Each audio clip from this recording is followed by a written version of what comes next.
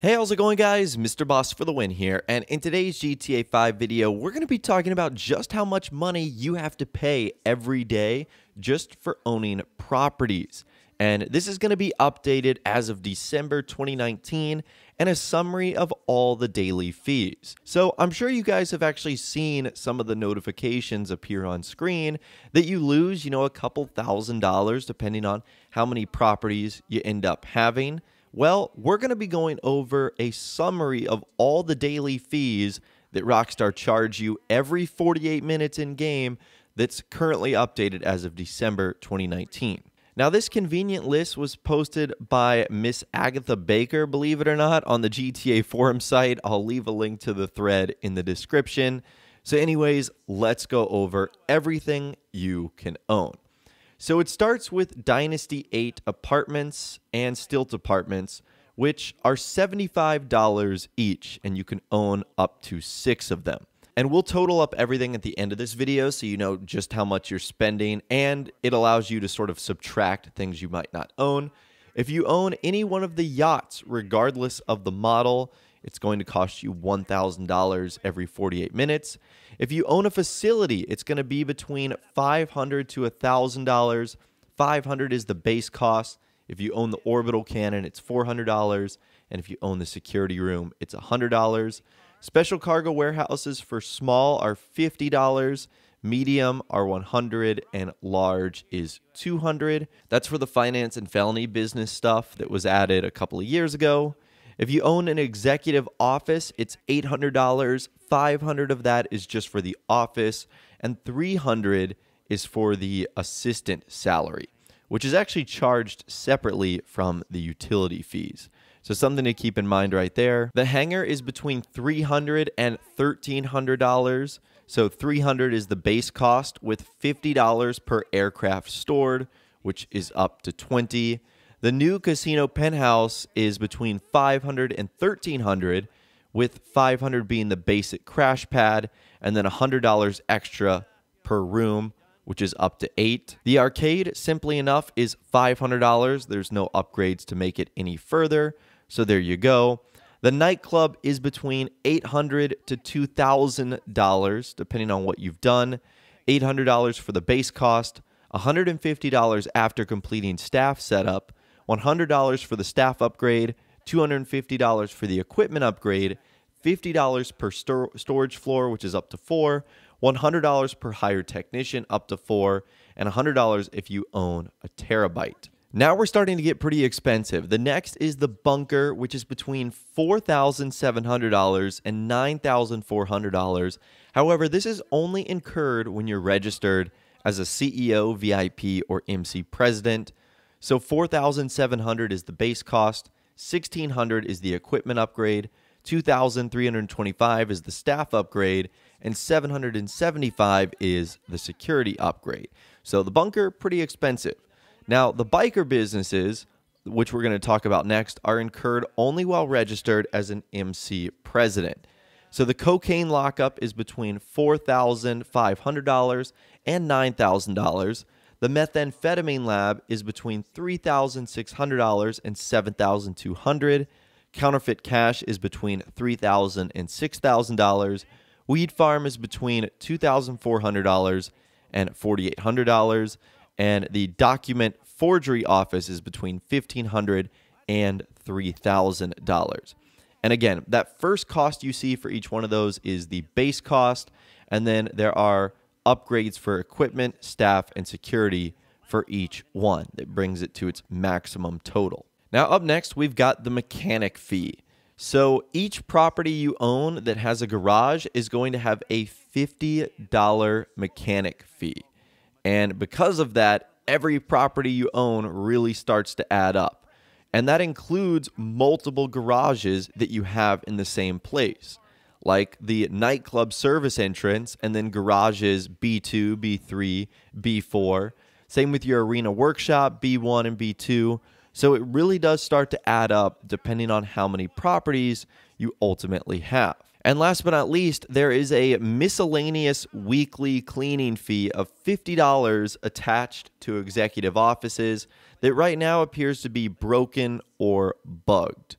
So it's just $50. It's not that big of a deal. Now, again, you might be wondering with all that information right there, what would owning everything uh, be for your daily fee? And again, you can subtract stuff here or there, but here's what the total is. So without registering as a VIP, MC, or CEO, your total is 17,875 every 48 minutes. Okay, so that's not terrible once, but if you were to play for like four or five straight hours, that could get close to $100,000. Well, it gets even worse. If you are registered as an MC, VIP, or CEO, it's going to be 47,875 every 48 minutes. Holy smokes, that's more expensive than some of the cars in the game. And if you play for three or four or five straight hours, that's more than some of the supercars in the game. So that just goes to show you that the daily fees you have really do start to add up.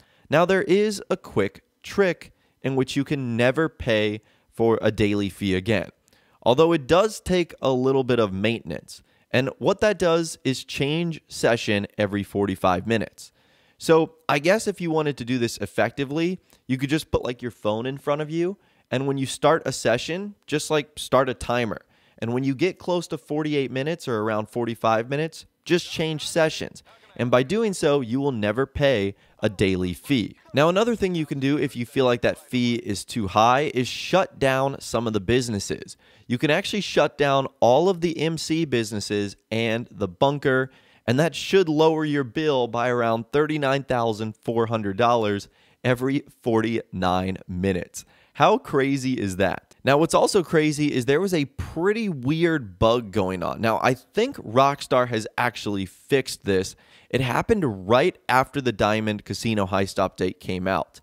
And I wasn't really too sure what was going on, but apparently there was a bug on Grand Theft Auto Online, I think on PC only, where the game would actually take $54,002,375 from you as a bunker daily fee. And apparently this was a glitch if you had over 54 million in cash and you owned the arcade business and the master control terminal. And as you guys can see here, someone took a photo of this actually happening and you can see that they have their other utility charges going on and then whoops, 54 million dollars that you end up losing because of a utility fee. Uh, that is wild, and you can see there that it was for the bunker. Now, again, I think Rockstar has actually gone about fixing this. In fact, there have been reports of this being fixed, but this is like a very first world problem. Like, if you have over $54 million in cash on hand, clearly you're doing very well, but at the same rate, no one deserves to lose that over a silly, you know, daily fee charge. But bottom line, what this video's purpose was to show you how much money you were losing, like literally every single day, just for doing nothing, just for owning existing properties in the game. And that brings up a bigger point that I wish Rockstar had in the game the ability to sell properties and businesses. Like, what if you don't do any of the biker stuff anymore, the bunker stuff, or the hangar? Wouldn't it be nice to sell it, get rid of it, and then you wouldn't have to pay those daily fees. That's something I wish Rockstar would incorporate in a future update. Hopefully, that's something they do before the end of Grand Theft Auto Online uh, because it would be nice. There's some businesses that I haven't touched in years, and getting rid of those daily fees would be quite nice. And honestly, some of the new changes and updates that Rockstar have actually made to online have made some of these properties obsolete. Like, what's the point of owning a stilt apartment or, you know, a regular apartment now? When there's businesses that have living quarters attached with, you know, various upgrades that those existing buildings had. So, bottom line, I really wish Rockstar would allow us to sell stuff. They've been pretty good with the quality of life stuff recently, so again, I'm hoping in a future update, that's something we see. So like I said, I will leave a link to that thread that I was using in the description so you can take a look at it for yourself, subtract some of the items or upgrades that you don't have from various properties, and you can figure out what your daily fee ultimately is.